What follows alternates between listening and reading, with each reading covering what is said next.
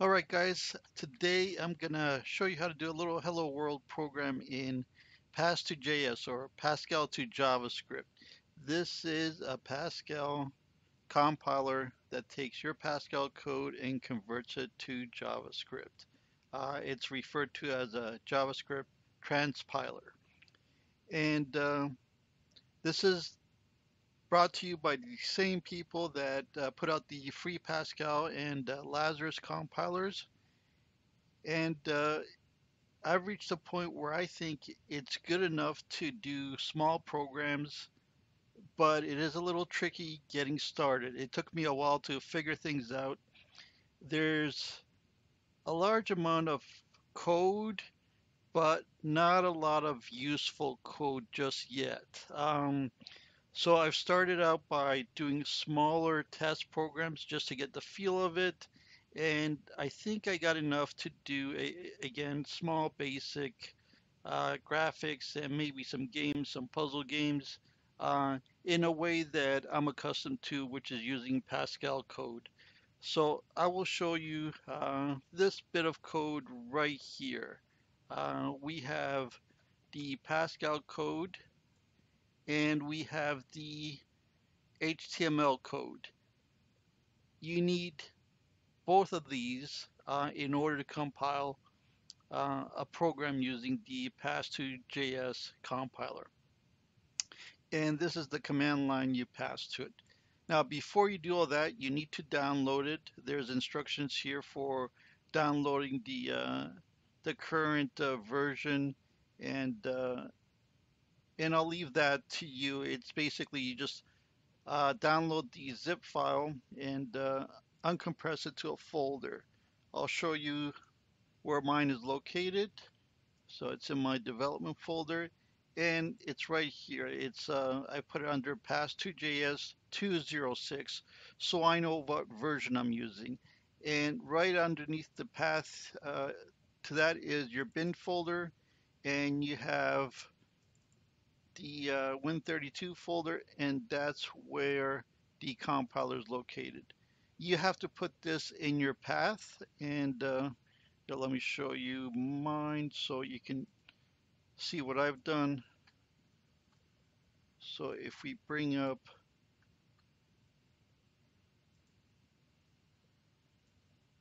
system properties, you go into environment variables and under system variables, you go into your path here, edit, and it's right here. So if you look here, it's in the same folder that I just showed you right here. So you got to make sure you add this.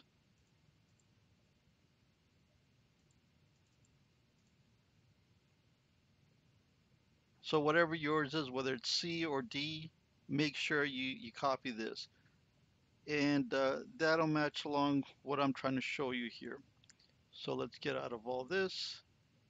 And if we drop to the command prompt, I'm in my uh, little demo one folder.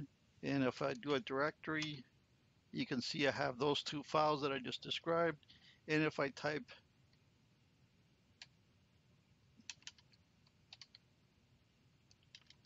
pass to JS, we see the uh, the compiler information here. 206 and I didn't specify any files to compile so that's why it's giving me the error message there. But um, let's go ahead and see what happens if we just try to view the HTML file hello.html so if we go here to our browser we refresh nothing happens and uh, if we um, inspect here, we see that nothing has really uh, appeared. So what I'll do now is go back into Visual Studio Code. And uh, here's our program again. And it uses the browser console uh, unit here. And this is very important. Um, so when you first start off, if you didn't read the instructions on the wiki uh, and just use this, you'd be surprised to find out that it actually doesn't work uh, the way you expect. So if we do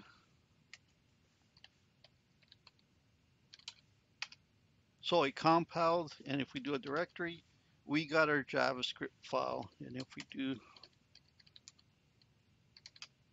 we can see that it created something here. So this is uh, JavaScript. So let's go back to our browser now and refresh. And if we refresh, we still don't get anything. And that's because I didn't specify the additional command line options that were in the wiki. So I didn't specify this part right here. So I didn't specify this command line switch. So I'll redo it again, and this time um, I have a, a batch file, I call it PJS, Pascal to JavaScript, that adds that command line for me. If we take a look here, it just did that. And if we come back to our browser now, if we hit refresh, we can see the hello world. And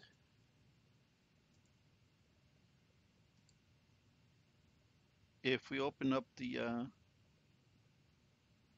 the inspect elements here, we can see the the hello world is right there. Uh, we also see it in the uh, console tab here. So it's important that you actually do both. Otherwise, uh, you're not going to get any output on the screen. Now, just to go a little further than the hello program, I want you to show you that it actually works just like your regular Pascal compiler. And um, we're going to create uh, a unit, uh, let's call it uh, unit uh, test one.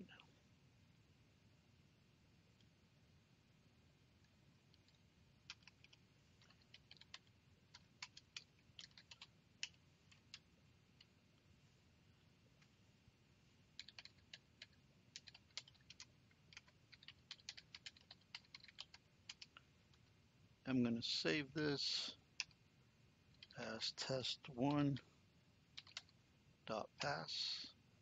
Okay, so I'll create a small procedure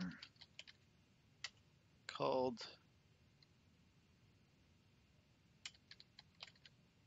write something. Okay.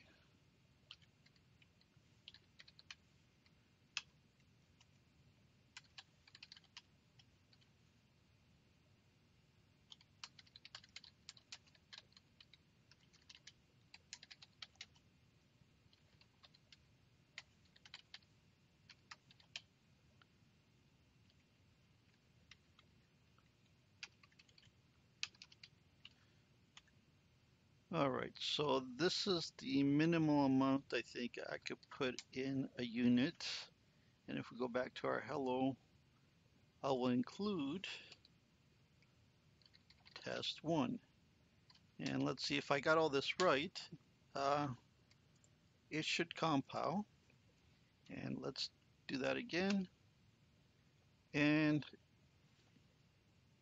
it looks like it did. Uh, test one not using hello. Okay, good.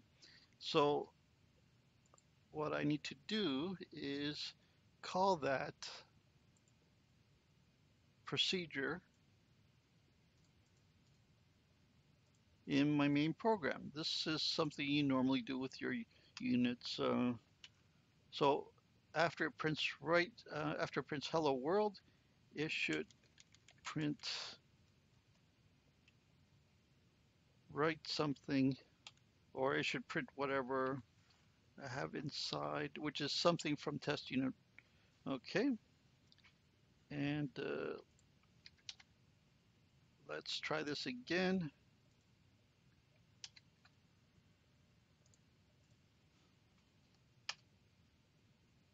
And everything compiled. So let's go to our browser again. Each time you compile, you have to do a refresh. And there we go. So this time it it executed what we have in our unit. So hello world and uh, whatever we have in our test unit.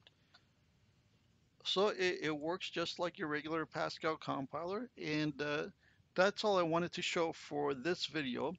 But the interesting stuff is actually all the things I discovered with the canvas, mouse, and keyboard input, which is a little difficult to find uh, how to use in the uh, in the source codes of the demo program. Some of them included uh, don't even compile, and some of it use an old method of accessing uh, bits of JavaScript uh, that are no longer used or depreciated.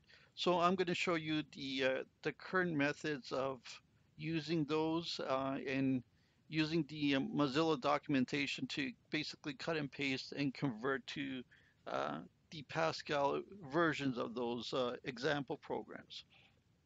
So that's it for this video. Uh, thanks for watching.